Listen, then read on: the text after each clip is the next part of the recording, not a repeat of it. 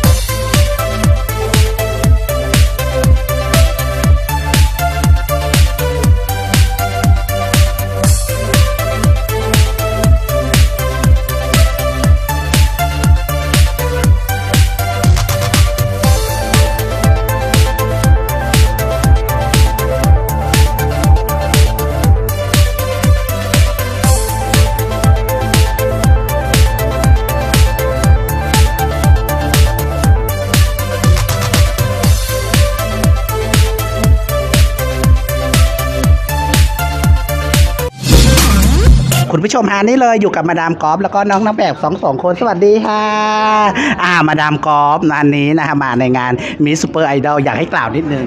โอ้โห เวทีเนี่ยยิ่งใหญ่อลังการเลยค่ะ ต้องขอขอบคุณคุณลูกหมีรัศมีนะคะ เวทีเนี่ยยิ่งใหญ่จริงๆ แล้วน้องๆ เนี่ย ตอนนี้เหลือ 24 คนรักทุกคนค่ะอยากให้ได้ที่หนึ่งทั้งหมด เพราะว่าจริงๆ เนี่ย อย่างน้องเนี่ย เราเห็นการเก็บตัวรวมคะแนนน้องมีความมั่นใจมาก แล้ว 20 24 คนเนี่ยมองแล้วทุกคนมีความสามารถคนละแบบเนาะ แล้วน้องก็ตั้งใจยังมีความรู้สึกว่าไม่น่าเชื่อว่าผู้หญิงไทยเราเนี่ยเก่งขนาดนี้ คือเวทีเนี่ยขอบอกนะคะหนึ่งเป็นเวทีที่รู้แล้วเป็นโมเดลมากค่ะนะคะ สามารถไปใช้งานต่อยอดได้ดี ไม่ว่าจะเป็นโรงละครนะไปโรงละครเล่นหนังนะคะ หรือโดยเฉพาะที่เดินแบบถ่ายโฆษณาได้หมดเลยนะคะแล้วน้องยังมีความเป็นไอของนางงาม ด้วยจริงๆเนี่ยเป็นผู้หญิงที่ดูเข้มแข็งแข็งแรงแล้วก็เป็นเป็นผู้หญิงที่เป็น sport girl อะค่ะดูดีสุขภาพดีนะคะน้องๆมีความมั่นใจไงมั้งคะความมั่นใจร้อยค่ะ ร้อยแบบให้ล้านเลยดีกว่าโอ้ใช่ หนูทุ่มเทมากกับการประกวดครั้งแรกของหนู แล้วหนูล่ะคะ ค่ะ ก็รู้สึกดีใจนะมากเลยค่ะ เพราะว่า